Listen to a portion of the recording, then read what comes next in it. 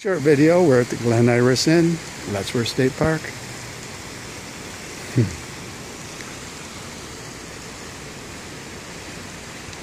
Look how high up that shoots. Don't want to take too much time, but just wanted to show you. You have a great day from Dan Karen, Letchworth State Park. Goodbye.